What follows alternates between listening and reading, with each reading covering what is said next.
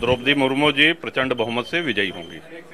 और उत्तर प्रदेश की अगर बात करें तो जितने मत भाजपा और सहयोगी दलों के पास हैं उनसे कहीं अधिक मत उनको मिलेंगे। बहुत से लोगों ने अंतरात्मा की आवाज़ पे मतदान किया है। ये यही कह रहे हैं अखिलेश यादव की अंतरात्मा की आवाज़ पे सत्ता पक्ष के कई विधायक ऐसे हैं जो मतदान करेंगे। विधायक अंतरात्मा की आवाज़ पे मतदान करेंगे और अंतरात्मा क्या कहती है कि देश मज़बूत हो देश अखंड हो।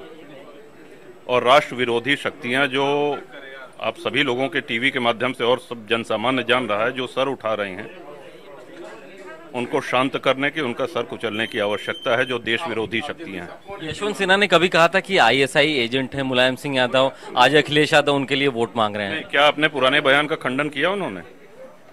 अगर किया हो तो बता दीजिए या आपसे ये कहा हो कि साहब उस बयान की मैं माफ़ी माँगता हूँ या मेरा बयान नहीं है ऐसा तो हमको जानकारी नहीं है कि उन्होंने कहा हो। शुक्रिया बात करने के लिए। तो रघुराज प्रताप सिंह राजा भैया इनका कहना है कि वो राष्ट्रवादी शक्तियों के साथ हैं और इसीलिए उनके और उनके विधायक एनडीए के पक्ष में वोट करेंगे। साथ ही साथ ये भी कहा कि बहुत सारे ऐसे विधायक हैं जो राष्ट्रवादी शक्तियों के लिए उनको मज़बूत करने के लिए एनडीए के पक्ष में मतदान कर रहे हैं।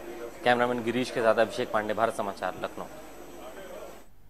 और अगली खबर है, बरेली से, जहाँ पर लगातार जो मामले सामने